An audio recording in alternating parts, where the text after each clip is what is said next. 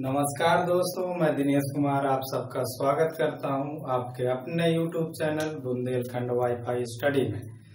जैसा कि पिछली डेमो क्लास में आप सबको बताया गया था कि प्रतिदिन आपको एक क्लास पढ़ाई जाएगी, जिसमें से आपको पूरी मैथ नंबर सिस्टम से लेकर के सारी पूरी मैथ आपको पढ़ाई जाएगी, जो एक सिक्वेंस के साथ में पूरे कॉन्सेप्ट बेस आधारित पर पढ़ाई जाएगी। मतलब आपको किसी भी प्रकार के डाउट नहीं रहने दिया जाएगा आपके पास में। आपके जितने भी डाउट हैं, सभी डाउट दूर कर दिए जाएँगे।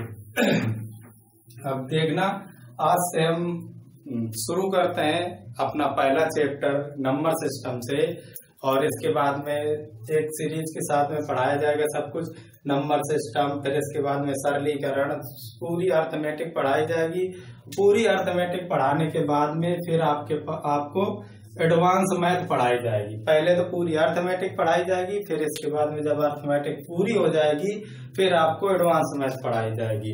आपको पूरी मैथ एक सिक्वेंस के साथ में और पूरी मैथ को हम पढ़ाएँगे केवल और केवल पूरे कॉन्सेप्ट बेस पे। आपको किसी प्रकार के ट्रिक वगैरह का झंझट नहीं रखा जाएगा। सभी प्रकार के सवालों को एक सिक्वेंस के साथ में कॉन्सेप्ट बेस पे पढ़ाया जाएगा। ठीक है, चलिए, ज़्यादा टाइम ना लेते हुए आज अपने पहले चैप्टर की शुरुआत करते हैं। नंबर सिस्टम की। नंबर सिस्टम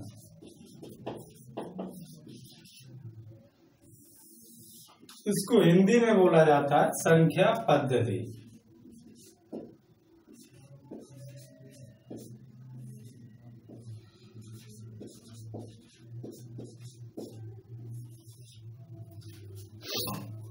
अब हम नंबर सिस्टम को पढ़ रहे हैं तो हमें सबसे पहली बात इस बात का जानना ज़रूरी कि हम नंबर सिस्टम कहते किसे हैं? नंबर सिस्टम होता क्या है? तो नंबर सिस्टम क्या होता है? नंबर को रिप्रेजेंट करने के लिए हम जिस सिस्टम का यूज़ करते हैं, वो हमारा नंबर सिस्टम होता है। और नंबर सिस्टम को मतलब नंबर को रिप्रेजेंट करने के लिए कई प्रकार के सिस्टम का यूज़ किया जाता है। जैसे मान लो decimal system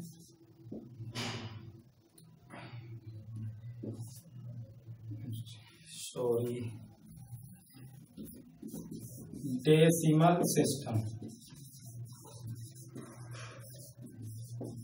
जिसको हम हिंदी में बोलते हैं दशमलव पद्धति। Binary system.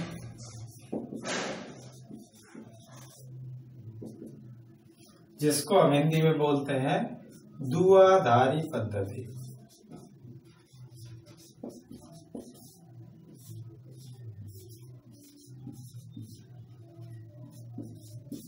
दुआधारी पद्धति। और होता है हेक्साडेसिमल सिस्टम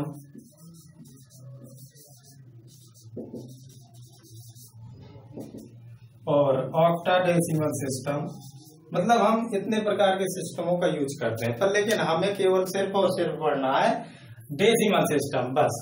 पेपरों में केवल मतलब कि ये चीज़ आती है आपको पढ़ने के लिए कि डेसिमल सिस्टम से बाइनरी मतलब डेसिमल से बाइनरी कैसे बनाते हैं और बाइनरी से हम डेसिमल कैसे बनाते हैं, केवल इतनी सी चीज़ आती है और बाकी सिर्फ़ और सिर्फ़ हमें पढ़ना है डेसिमल सिस्टम तो ये चीज़ मैं बाद में सिखा दूँगा आप लोगों को कि डेसिमल से बाइनरी हम कैसे बनाते हैं और बाइनरी से डेसिमल कैसे बनाते हैं।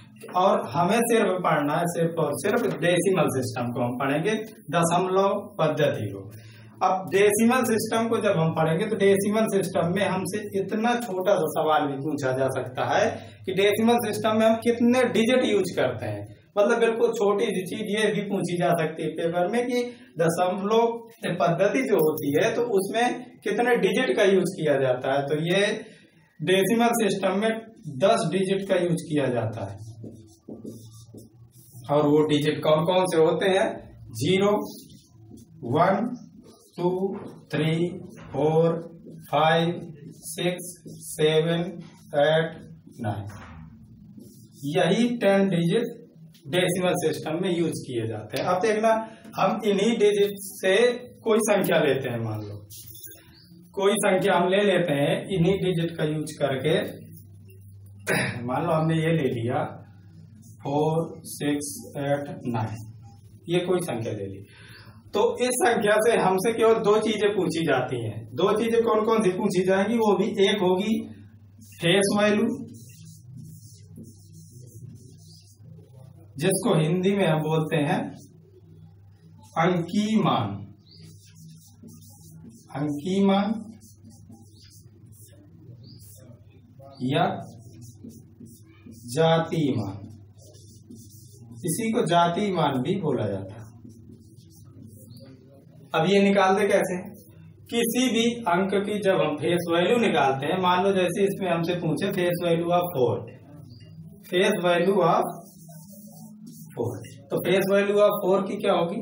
फोर होगी। मतलब जिसकी भी फेस वैल्यू पूछता है तो उसकी फेस वैल्यू वही होती है जो डिजिट दिया जाता है। किसी भी की फेस वैल्यू पूछोगा तो फेस वैल्यू उसकी वही होती है जो डिजिट होता है। जैसे सेक्स की पूछे face value face value of six तो इसकी सेक्स होगी। यदि अगर हमसे ये पूछे फेस वैल्यू ऑफ़ एट तो इसकी एट होगी। फेस वैल्यू ऑफ़ नाइन पूछे तो इसकी नाइन होगी। मतलब फेस वैल्यू वो होती है, जो अंक होता है, उसकी फेस वैल्यू वही होती है। अब इसके बाद में ये एक चीज़ हमसे पूछता है डेसिमल में कि फेस वैल्यू क्या होती है, उसको हिंदी में हम बोलते हैं अंकी मान या तो जाति मान। इसका मान मतलब जो अंक होगा, उसकी फेस वैल्यू वही होती है। और दूसरी चीज़ इसमें क्या पूछी जाती है? प्लेस वैल्यू प्लेस वैल्यू को हिंदी में हम कहते हैं स्थानीय मान। प्लेस वैल्यू इसको बोला जाता है स्थानीय मान।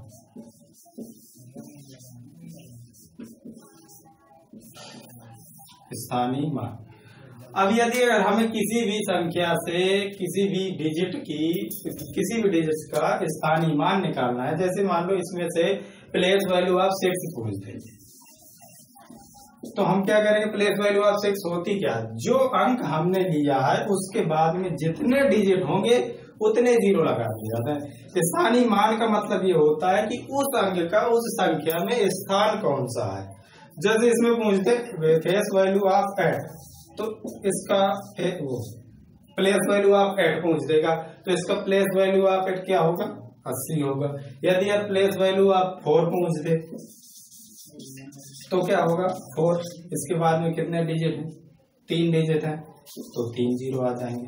यदि यार प्लेस वैल्यू आप नाइन पूछ दे तो इसकी प्लेस वैल्यू क्या आएगी? नाइन इसका मतलब इससे एक चीज़ पता चलता है कि नौ जो है, इसमें जो आया तो नौ की प्लेस वैल्यू भी वही है फेस वैल्यू भी वही है। इसका मतलब कि किसी भी संख्या का जो यूनिट डिजिट होता है, उसकी प्लेस वैल्यू और फेस वैल्यू दोनों एक ही होती है। ठीक है, अब देखते हैं आगे हम क्लासिफिकेशन ऑफ़ नंबर मतलब नंबरों का वर्गीकरण करते हैं। नंबरों को नंबरों का क्लासिफिकेशन करते हैं। अब मैं एक बात ये सोचिए आप, सबसे पहली बात ये सोचना है आप लोगों को कि हम अलग किसे कर सकते हैं। मतलब जैसे हमें नंबरों का वर्गीकरण करना तो हम नंबरों को वर्गीकरण कैसे कर सकते हैं? नंबरों को वर्गीकरण हम तभी कर सकते हैं जब बहुत सारे नंबर मिले हों। तो इसका मतलब हम एक संख्या लेते हैं जिसमें बहुत सारे नंबर मिले होते हैं। जैसे हम लेते हैं कॉम्प्लेक्स नंबर कॉम्प्लेक्स नंबर इसको हिंदी में बोला जाता है सम मिश्र संख्या। सम मिश्र संख्या। अब हम इसको बांटेंगे तो इसको हम जब कॉम्प्लेक्स नंबर को बांटते हैं तो इसको हम दो भागों में बांट सकते हैं। कौन कौन से भागों में? एक तो होता है रियल नंबर एक होता है इमेजिनरी नंबर एक तो हम इसे बांट सकते हैं। रियल नंबर रियल नंबर का मतलब क्या हुआ? हिंदी में बोलेंगे इसे वास्तविक संख्या। वास्तविक संख्या। और एक क्या हो सकता है? Imaginary number imaginary number imaginary number को हिंदी में क्या बोलेंगे? काल्पनिक संख्या। काल्पनिक संख्या। अब इसमें काल्पनिक संख्या क्या होती है? काल्पनिक संख्या जो होती है तो केवल आई होती है। काल्पनिक संख्या आई एक काल्पनिक संख्या है, जिसको हम बोलते हैं आयोटा। आई को हम बोलते हैं आयोटा। आई स्क्वायर का मान माइनस एक होता है। आई का मान अंडर रूट माइनस वन काल्पनिक संख्या में केवल इतनी ही चीज़ होती है कि काल्पनिक संख्या आई एक काल्पनिक संख्या होती है, जिसको हम आयोटा कहते हैं आई स्क्वायर का मान माइनस एक होता है तो आई का मान अंडर रूट माइनस एक होता है। इसके बाद में रियल नंबर क्या होता है? रियल नंबर मतलब सभी प्रकार के नंबर सभी नंबर हमारे रियल नंबर होते हैं। जितने भी हमारे नंबर हैं माइनस इन्फिनाइट से लेकर इन्फिनाइट तक के सभी नंबर हमारे रियल नंबर होते हैं। तो हम इस काल्पनिक नंबर को मिटा देते हैं। अब वर्गीकरण करते हैं हम रियल नंबर का। देखते हैं कि हम रियल नंबर को कैसे बांट सकते हैं। इसे मैं रफ कर रहा हूँ। देखते हैं रियल नंबर को हम कैसे बांटते हैं।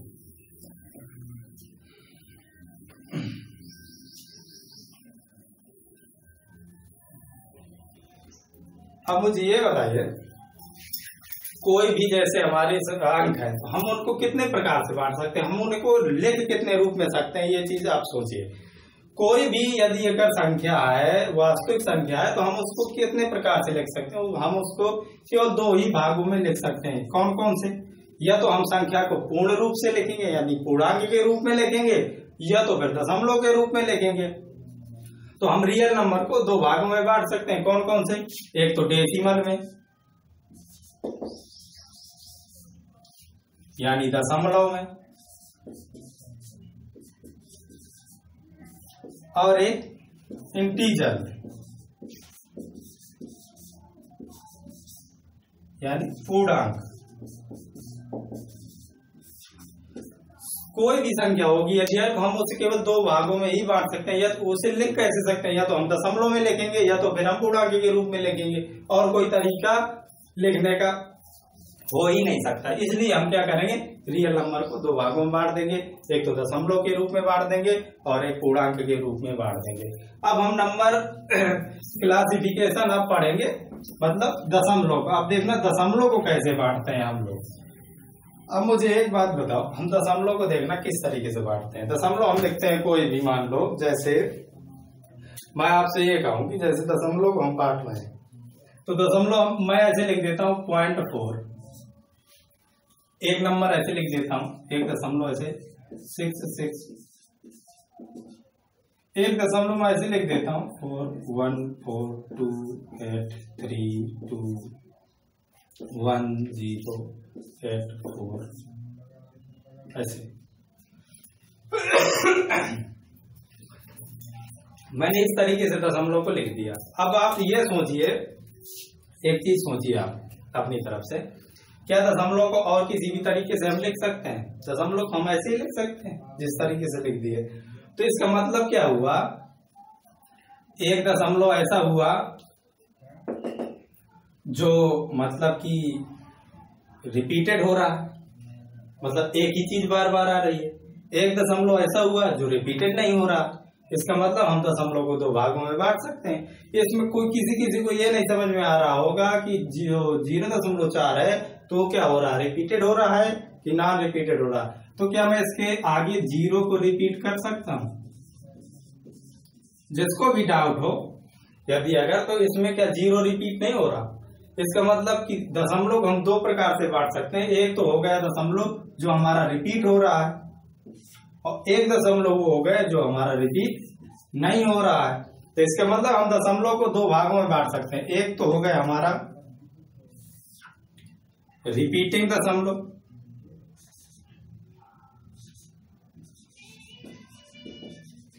रिपीटिंग एक हो गया नॉन रिपीटिंग जो रिपीट नहीं हो रहा। है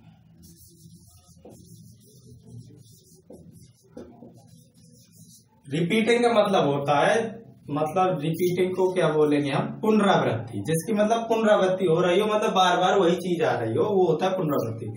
रिपीट का मतलब होता है पुनरावृत्ति। मतलब पुनरावृत्ति हो रही है। अब मुझे एक बात ये बताइए, मैं ये चीज़ जैसे कहूँ, क्या मैं इसको मिटा सकता हूँ ऐसे? कोई दिक्कत नहीं होगी। क्या मैं इसे मिटा सकता हूँ? मिटा सकता हूँ, पर लेकिन मुझे इसके ऊपर बार लगाना पड़ेगा। ये आगे मैं जब पढ़ाऊँगा तो सिखाऊँगा कैसे बार लगाते हैं और बार को कैसे हटाते हैं। ये चीज़ आगे सीखने को मिलेगी। मतलब मैं इसे हटा सकता हूँ, पर लेकिन मुझे बार लगाना पड़ेगा। क्या मैं इसे हटा सकता हूँ? इसे मैं नहीं हटा सकता। इसे मैं नहीं हटा सकता। मतलब मैं इसको हटा सकता हूँ, इसको भी हटा सकता हूँ, पर लेकिन इसे हटा नहीं सकता। इसका मतलब क्या हुआ कि जो रिपीट हो रहा है, उस दशमलव को समाप्त किया जा सकता है। और जो रिपीट नहीं हो रहा है, उस दशमलव को समाप्त नहीं किया जा सकता। इसका मतलब क्या हुआ कि जो दशमलव रिपीटिंग होगा, वो दशमलव टर्मिनेटिंग भी होगा। टर्मिनेटिंग का मतलब होता है जिसे समाप्त किया जा सके। जिसे समाप्त किया जा सके।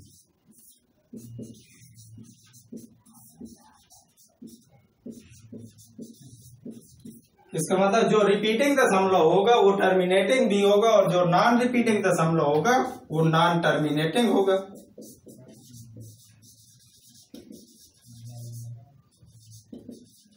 ठीक? कोई किसी को किसी प्रकार का डाउट हुआ? हमने दशमलव को बांटा। दशमलव को बांटा, हमने देखा कि दशमलव केवल दो ही प्रकार से हम लिख सकते हैं। एक तो ऐसा दशमलव जो रिपीट हो रहा हो, और एक ऐसा दशमलव जो रिपीट ना हो रहा हो। इसके बाद में हमने देखा जो दशमलव रिपीट हो रहा है, हम उसे समाप्त कर सकते हैं। जो दशमलव रिपीट नहीं हो रहा है हम उसे समाप्त नहीं कर सकते।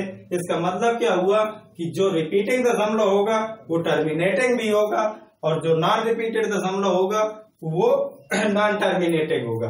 अब एक चीज़ मुझे ये बताइए, ये जो ज़ीरो दशमलव चार लिखा है मैंने, ज़ीरो दशमलव जो चार मैंने लिखा है तो क्या मैं इसको ऐसे लिख सकता हूँ? चार बटे दस। कोई दिक्कत? जो दशमलव छह बार लिखा है, मैं इसको ऐसे लिख सकता हूँ, छह बटे नौ। जिसको पता होगा, उसको तो ठीक है, जिसे नहीं पता है कि बार हटाने मतलब बार कैसे हटाया जाता है, वो मैं सबको सिखा दूँगा, पर लेकिन हाँ मैं इसको ऐसे लिख सकता हूँ। क्या मैं इसे ऐसे लिख सकता हूँ? नहीं लिखने का यत्नी कि इस दशमलव को मैं ऐसे बटे के रूप में नहीं लिख सकता। इसका मतलब क्या हुआ कि जो रिपीटिंग दशमलव है, उसको मैं पी बटे क्यू के फॉर्म में लिख सकता हूँ। इसे भी मैं पी बटे क्यू के फॉर्म में लिख सकता हूँ। इसका मतलब जो रिपीटिंग दशमलव है, उस टर्मिनेटिंग दशमलव मतलब टर्मिनेटिंग है, उसको मैं पी बटे क्यू के फॉर्म में लिख सकता हूँ। तो अब आपके दिमाग में एक बात आ गई होगी तुरंत कि जिसे हम पी बटे क्यू के रूप में लिख सकते हैं तो वो कहलाता क्या है? जिसे हम पी बटे क्यू के रूप में लिख सकते हैं तो वो होता क्या है? ये चीज़ शायद सबको पता होगी। तो इसका मतलब मैं ये बोल सकता हूँ कि जो रिपीटिंग दशमलव होगा तो वो हमारा क्या कहलाएगा? It is called rational number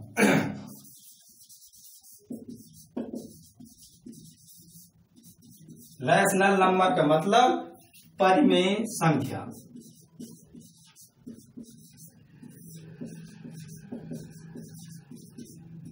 मतलब जो दशमलव रिपीटिंग दशमलव होगा, वो टर्मिनेटिंग होगा। और जो रिपीटिंग दशमलव होगा, वो क्या कहलाएगा हमारा? रेशनल नंबर कहलाएगा। और ये बताइए, क्या मैं इसे पी बटे क्यू के रूप में लिख सकता हूँ? नहीं लिख सकता हूँ। इसका मतलब क्या हुआ कि जो नॉन रिपीटिंग दशमलव होगा, वो हमारा क्या कहलाएगा? Irrational number. इरेशनल नंबर का मतलब क्या होता है? अपरिमेय संख्या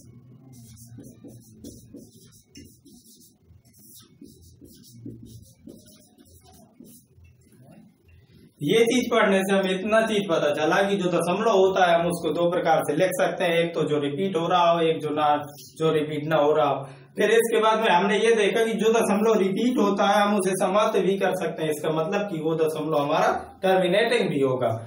और जो रिपीटेड दशमलव होगा, हम उसको पी बटे क्यू के फॉर्म में लिख सकते हैं। इसका मतलब कि जो भी रिपीटिंग दशमलव होगा, वो हमारा क्या कहलाएगा? रेशनल नंबर कहलाएगा। क्योंकि रेशनल नंबर होता क्या है? रेशनल नंबर ये होता है कि जिस संख्या को हम पी बटे क्यू के फॉर्म में लिख सकते हैं, वो हमारी परिमेय संख्या होती है।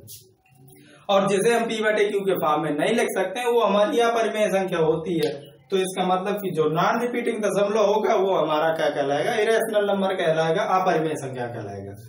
इससे इतनी चीज़ें मतलब हम लोगों ने सीख ली। अब इसके बाद में ये आते हैं कि रैशनल नंबर के उदाहरण आ जाते हैं तो इसको हम रैशनल नंबर के उदाहरण क्या लिख सकते हैं? एक तो जैसे ये होगा ज़ीरो दशमलव चार, एक रैशनल नंबर है।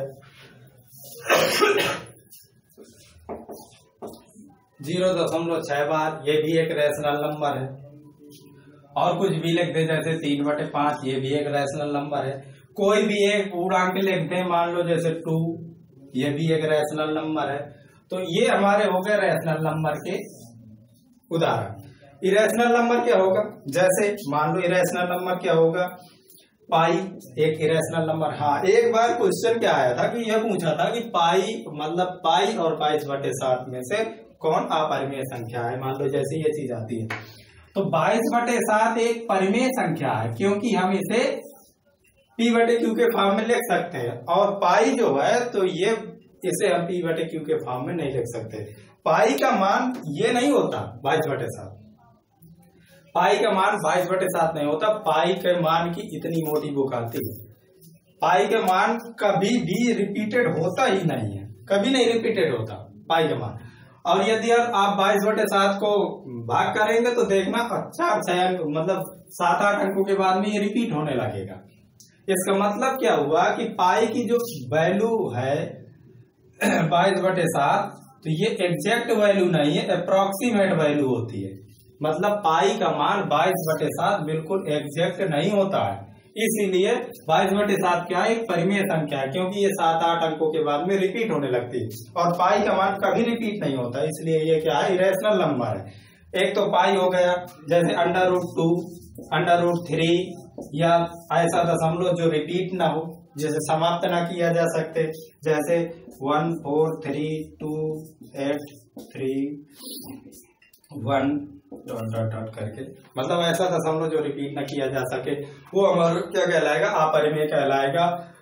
जो पी बटे क्यू के रूप में लिख सकते हैं, वो हमारा परिमेय संख्या कहलाएगा। इतना चीज़ हम लोगों ने सीख ली। ठीक है?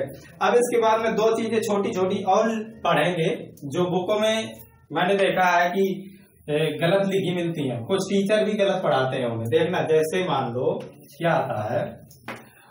क्वेश्चन आता है, पर लेकिन लोग गलत कर देते हैं। और पेपर में गलत होने के बाद में जब लड़का गलत करके आ जाता है, फिर इसके बाद में ये बोलता है कि सर पेपर में ये क्वेश्चन गलत आया है। लेकिन वास्तव में गलत नहीं होता है। उसने पढ़ा गलत है तो क्यों नहीं गलत लगेगा उसे? देखना, देखते हैं क्या चीज़ आती है। इन्हीं चीज़ आती है, परिमेय संख्या, अपरिमेय संख्या। देखना। जैसे हम लोग लेते हैं, ए व बी के बीच परिमेय संख्या।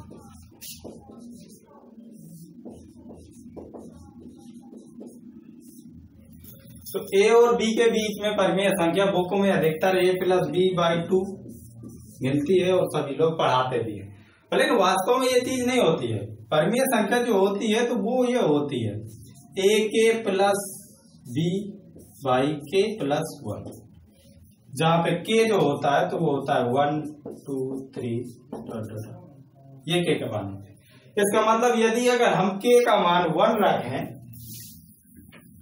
हम के का मान यदि अगर वन रखेंगे तो हमारा जो परिमेय संख्या आएगी तो वो क्या आएगी? A plus b by two आएगी। यदि अगर हम के का मान दो रखें तो फिर क्या होगा?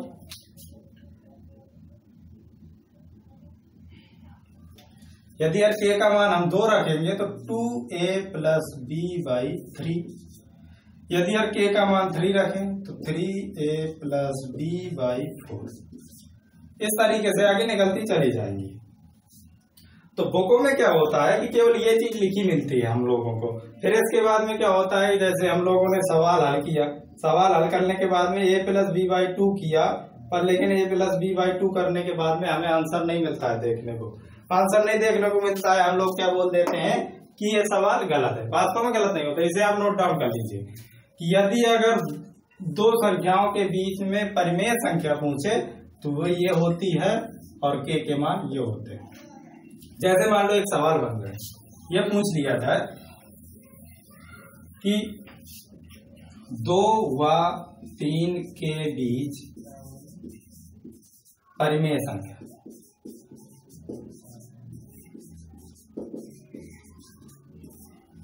तो क्या होगी? दो और तीन के बाद बीच में परिमेय संख्या क्या होगी? Two plus three by two होगी। यानी कि फाइव बाई टू। यदि अगर ये कुछ, ये नहीं मिलती है तो हम क्या करेंगे? Two a plus b by three लगाएँगे। तो क्या हो जाएगी? Four plus three by three. यानी सेवन बाई थ्री। ये हो जाएगी। इस तरीके से यदि हमें आंसर ये नहीं मिल रहा है तो हम इसे टेक करेंगे। यदि ये भी नहीं मिल रहा तो और आगे निकालेंगे। इस तरीके से क्वेश्चन का आंसर हम निकालेंगे। और यदि लड़का क्या करता है, केवल a plus b by two लगाता है, उसे आंसर नहीं मिलता है तो ये बोल देता है कि सवाल गलत है इसे आप नोट कर लीजिए। ये कभी गलत नहीं होगा आपका। आपको मैं इस तरीके से फुल कॉन्सेप्ट बेस पे पढ़ाऊँगा कि आपको किसी भी प्रकार के डाउट नहीं रह जाएँगे। कि डाउट रह जाते हैं कि सवाल हमें आ रहा था, पर लेकिन सेट पेपर में गलत हो गया। आपने पढ़ा ही गलत है उसे, इसलिए वो गलत हुआ है। यदि आप सही पढ़ेंगे तो कभी गलत नहीं होगा। जैसे अब आता है ए व बी के बीच ए व बी के बीच में अपरिमेय संख्या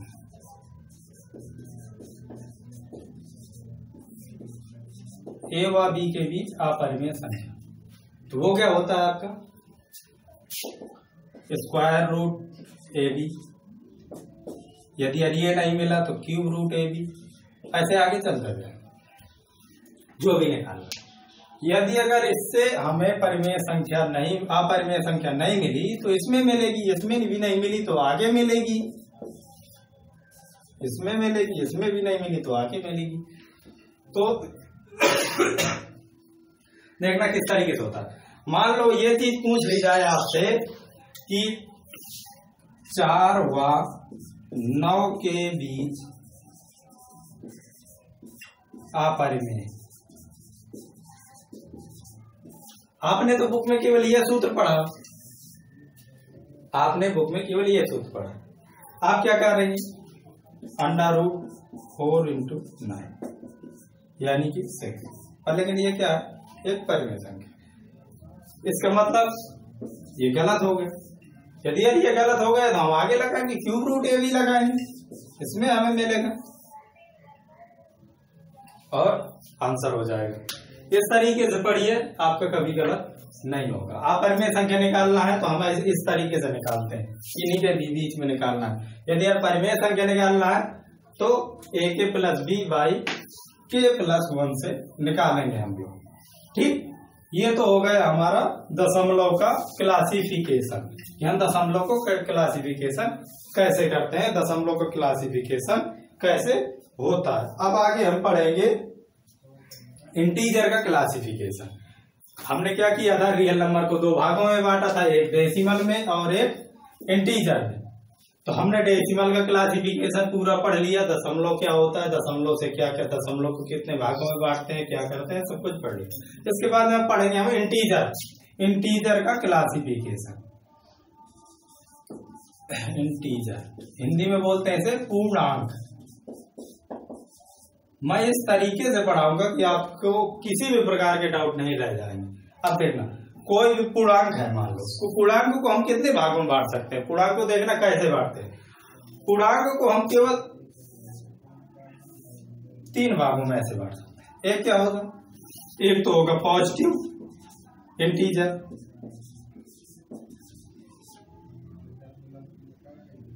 integer positive integer एक होगा नेगेटिव इंटीजर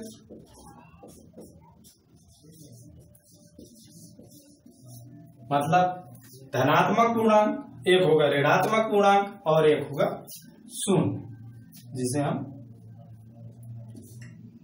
ज़ीरो। हमने इंटीजर को तीन भागों में बांट दिया। पहले क्या किया हमने? एक तो कर दिया धनात्मक में, एक कर दिया ऋणात्मक में, एक कर दिया ज़ीरो।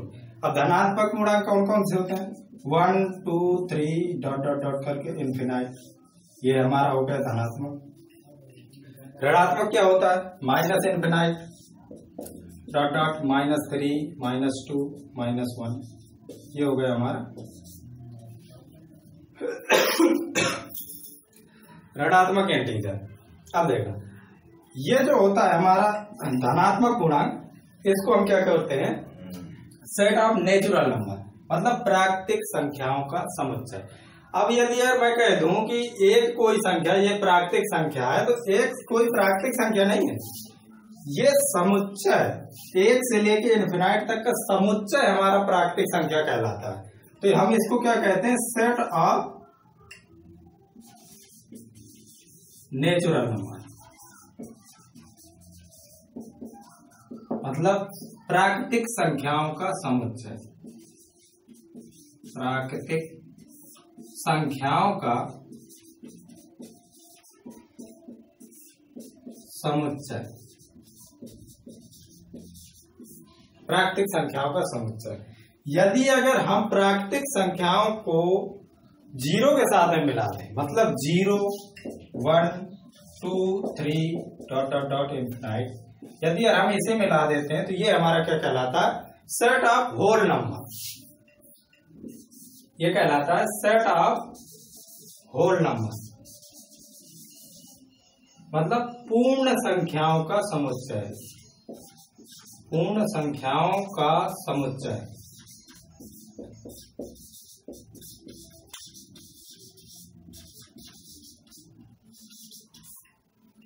देखिए, ज़ीरो एक पूर्ण संख्या है, लोग पढ़ते हैं। ये गलत है। ज़ीरो एक पूर्ण संख्या नहीं है। ज़ीरो सहित ये सारी संख्याओं का समुच्चय हमारा पूर्ण मतलब कि होल नंबर कहलाता है, पूर्ण संख्या कहलाता है। खाली एक नंबर को हम ये नहीं बोल सकते कि एक पूर्ण संख्या है।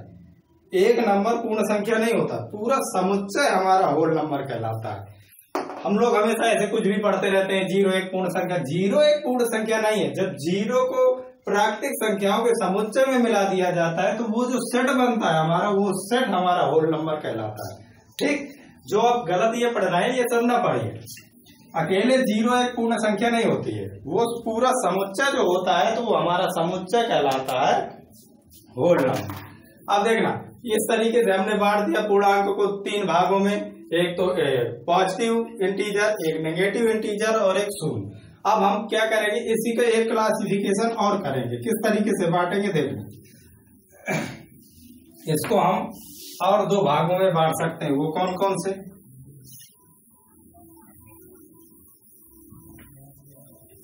ये। एक तो हम इसे बांट सकते हैं। इवेंट नंबर इवन नंबर का मतलब होता है सम संख्या।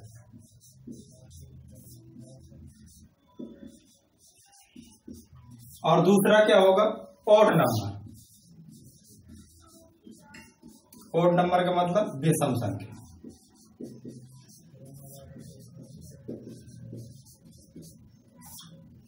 ओड नंबर का मतलब हो गया विषम संख्या।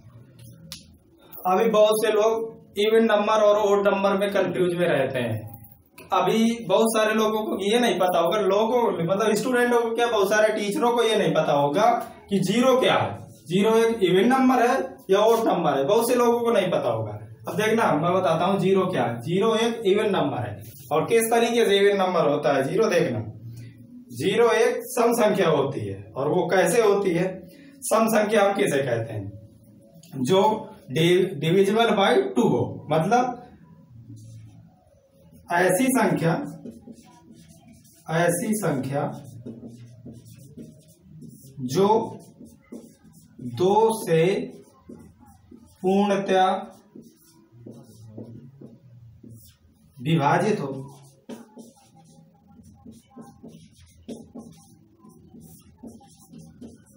मतलब जो भी संख्या दो से पूरी तरीके से विभाजित होगी, वो हमारी कहलाएगी सम संख्या इसके बाद में जो दो से पूरी तरीके से विभाजित नहीं होगी, वो हमारी कहलाएगी विषम संख्या।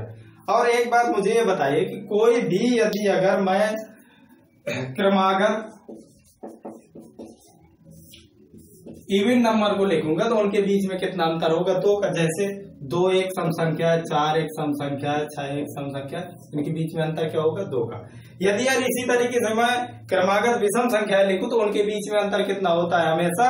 उनके बीच में अंतर भी हमेशा दो का होता है। जैसे मैं लिखू वन थ्री फाइव विषम संख्या तो इनके बीच में हमेशा अंतर दो का होता है। अब देखना, ज़ीरो कैसे एक सम संख्या है। देखना, लिखते हैं हम लोग।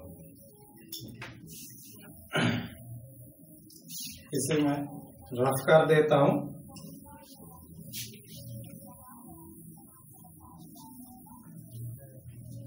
हमें क्या लिखना है? उदाहरण इवन नंबर के। इवन नंबर यानी सम संख्या सम संख्या हम कैसे लिख सकते हैं? एक शुरुआत करते हैं हम सम संख्या लिखना तो हम कैसे लिख सकते हैं? मान लो लिख के आते हैं हम, ऐसे। क्या? Minus infinite, dot dot dot. Minus four, minus two, zero, two, four, dot dot dot, infinite. इसी तरीके से हम लिखेंगे ना। मतलब क्या होगा कि माइनस इन्फिनाइट से लेके हम चलेंगे, इसमें हमने दो जोड़ा, माइनस दो आया, इसमें हमने दो जोड़ा, ज़ीरो आया, इसमें हमने दो जोड़ा, दो आया, फिर इसके बाद दो जोड़ा, चार आया। इसका मतलब क्या हुआ? यदि अगर हम ज़ीरो को यहाँ पे नहीं रखेंगे, ज़ीरो को हम यहाँ पे नहीं रख रहे हैं यदि अगर तो हमारी सीरीज़ बिगड़ जाएगी। यदि सीरीज़ बिगड़ जाएगी, इसका मतलब क्या है कि ज़ीरो हमारा एक सम संख्या है। इसी तरीके से देखना। यदि यार इस तरीके से नहीं समझ में आ रहा है तो मैं देखना दूसरा तरीका बताता हूँ कि ज़ीरो क्यों सम संख्या मान लो, अब लिखते हैं हम क्या? Odd number. ओड नंबर मतलब विषम संख्या। विषम संख्या लिखते हैं। विषम संख्या हम कैसे लिखेंगे? Minus infinite dot dot dot minus three, minus one. इसमें दो जोड़ेंगे, वन।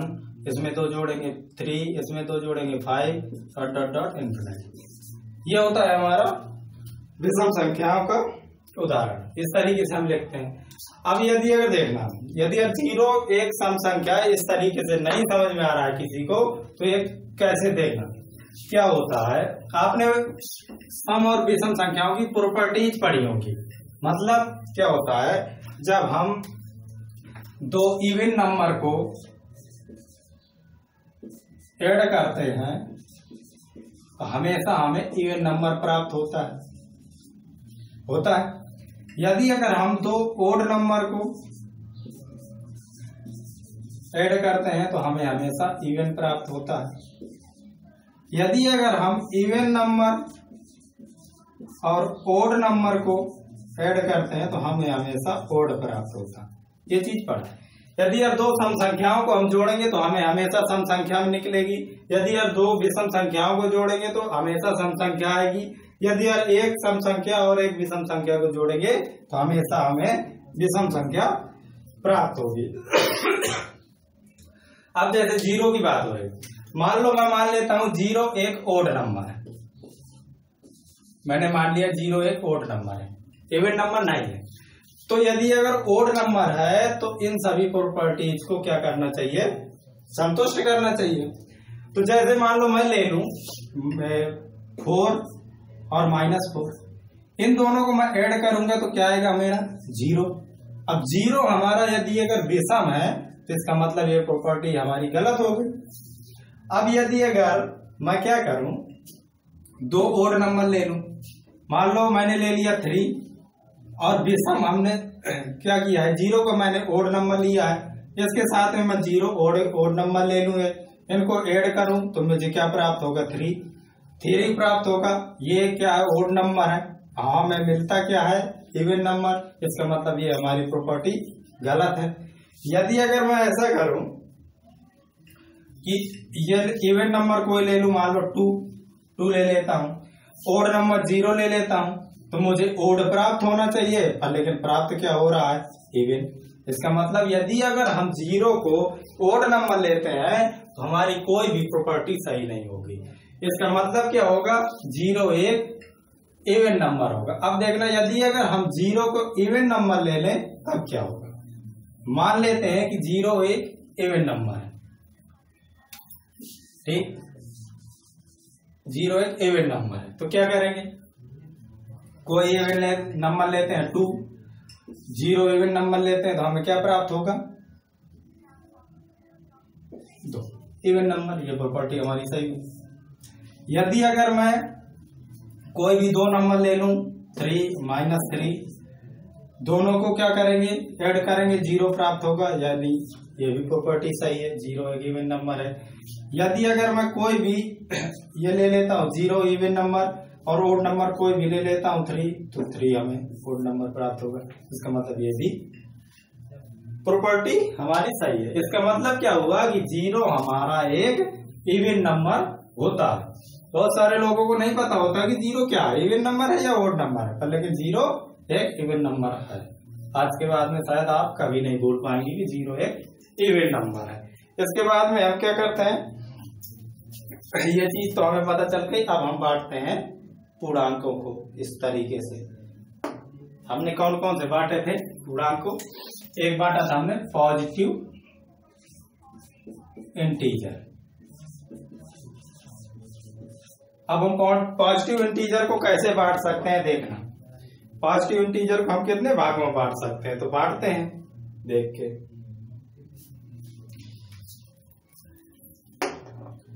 एक तो हो गया इसको हम तीन भाग में बांट सकते हैं। देखना कैसे। एक हो गया हमारा प्राइम नंबर और एक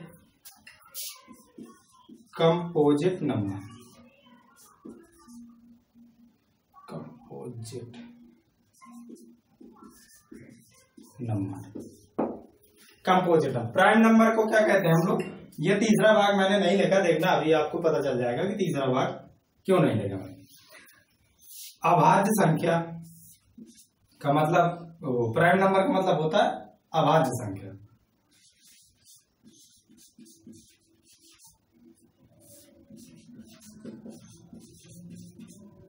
और कंपोजिट नंबर का मतलब होता है भाज्य संख्या।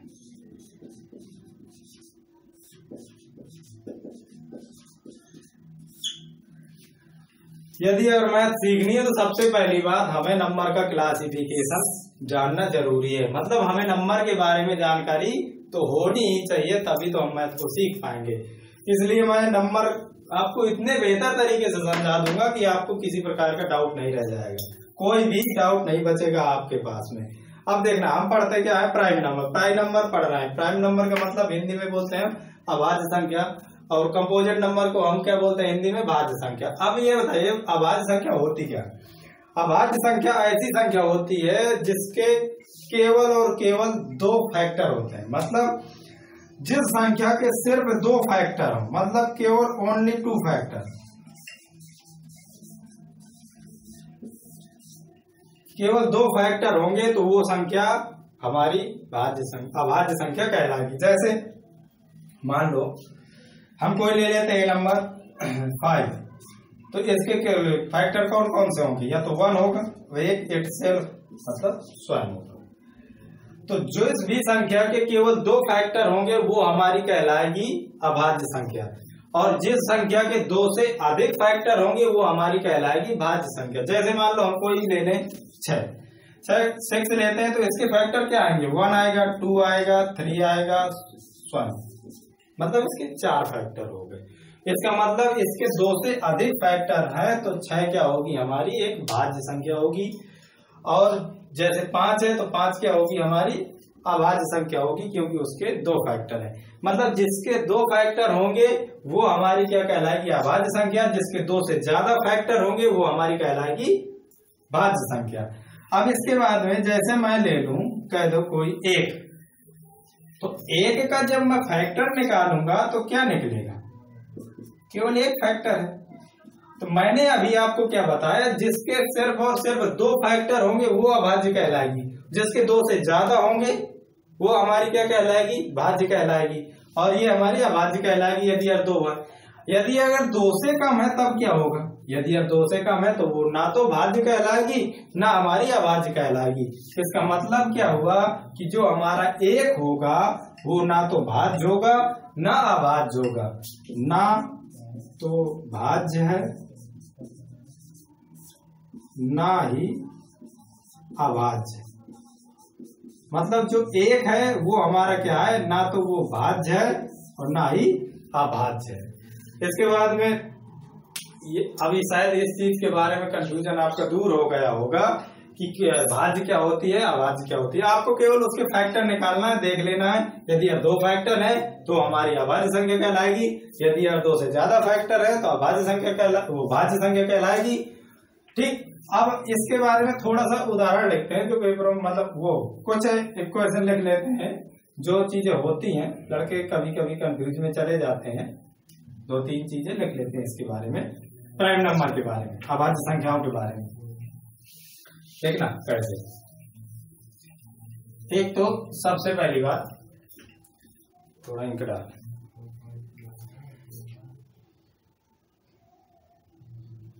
क्या होता है? पेपरों में छोटी छोटी चीज़ ऐसे डायरेक्ट पूछ ली जाती है, सीधे से। मतलब छोटी चीज़ लड़के कंफ्यूजन में होते हैं तो गलत कर देते हैं। तो सबसे छोटी सबसे छोटी अभाज्य संख्या। ये सब लिख लीजिए आप। सबसे छोटी अभाज्य संख्या क्या होती है? हमारी दो होती है। ठीक? और ये हो गए दूसरा। दो, एक सम अभाज्य संख्या है।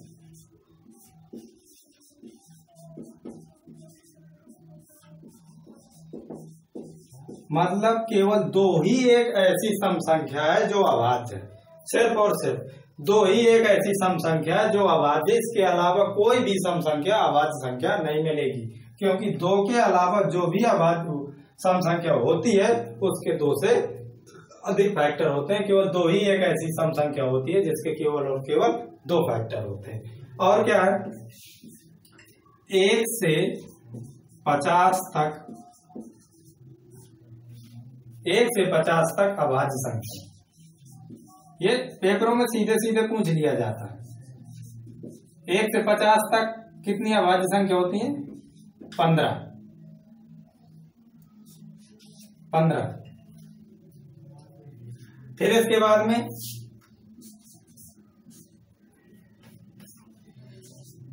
पचास से सौ तक अभाज्य संख्या। दस होती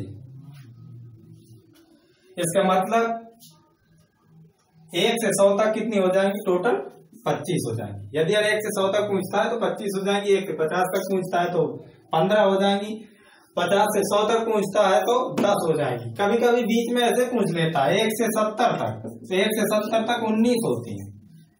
यदि और मैंने एक सेट पेपर में देखा था, ये पूछा था तो एक से दो सौ तक। तो एक से दो सौ तक छियालीस होती है ये अभाज्य संख्या होती है। ये, ये कुछ चीज़ें लिख लीजिए।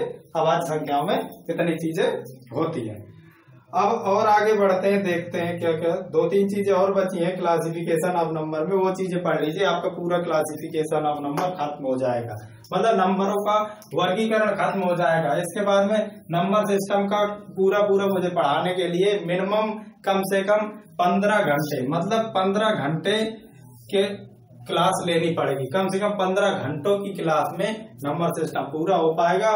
और जिसने नंबर सिस्टम पढ़ लिया तो उसका ये मान लो पंद्रह से बीस प्रतिशत मैथ के सवालों को हल कर देगा। जिसने नंबर सिस्टम पूरा पढ़ लिया, वो मैथ के पंद्रह से बीस प्रतिशत सवालों को हल कर लेगा। नंबर सिस्टम बहुत बड़ी चैप्टर है। मतलब उसमें बहुत चीज़ें आपको सीखने को मिलेगी।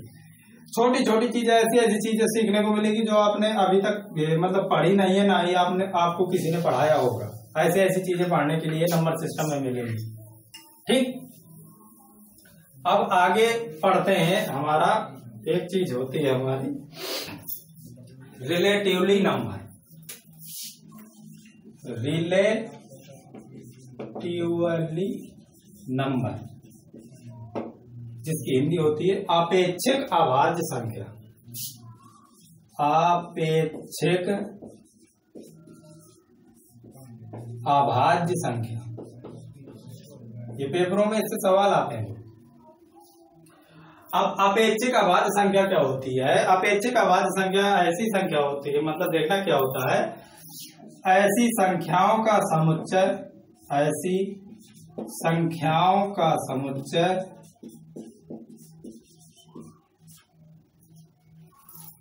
ऐसी दो संख्याओं का समुच्चय, दो संख्याओं का समुच्चय होता है। ऐसी दो संख्याओं का समुच्चय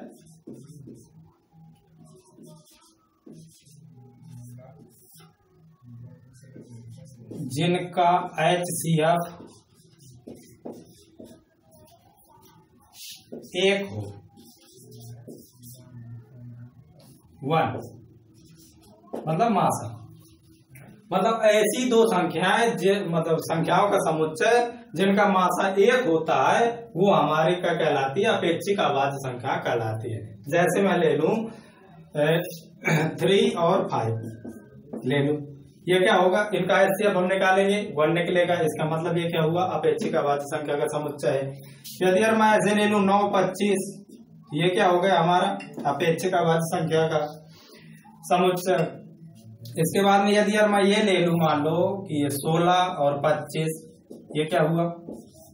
हमारा अपेक्षिक आवाज़ संख्या का समुच्चय तो ये होती अपेक्षिक आवाज़ संख्या। मतलब कि दो संख्याओं का समुच्चय, जिनका मासा एक निकलेगा, वो हमारी क्या कहलाएँगी? अपेक्षिक आवाज़ संख्या कहलाएगी। ये चीज़ होती है अपेक्षिक आवाज़ संख्या। और एक संख्या क्या होती है जो आती है? लड़के कंफ्यूजन में होता है। देखना, मैं अभी बता रहा हूँ। क्या लड़के गलत पढ़ते हैं? और बहुत से बुकों में भी गलत लिखा हुआ मैंने पढ़ा है। देखना क्या होता है कि लड़के क्या करते हैं? एक संख्या और होती है। वो क्या करते हैं? गलत करते हैं। देखना हमारा पड़ता है। ये चीज़ तो मैंने बता दी। अपेक्षिक आवाज़ संख्या का होती है। मतलब दो संख्याओं का समुच्चय, जिनका एचसीएफ वन आएगा, वो हमारी अपेक्षिक आवाज़ संख्या कहलाएगी। इसके बाद में दूसरा क्या होता है हमारा? Coprime number. Coprime number. Coprime number को हिंदी में बोलते हैं सह अभाज्य संख्या। सह अभाज्य संख्या।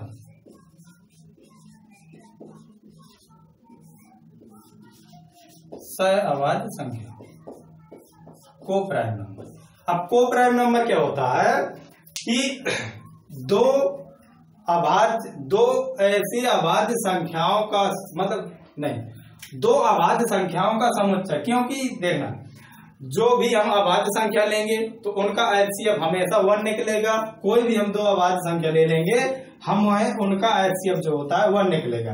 तो इसमें क्या होता है, जो को प्राइम नंबर होता है तो वो को प्राइम नंबर क्या होता है, दो अभाज्य संख्याओं का समुच्चय।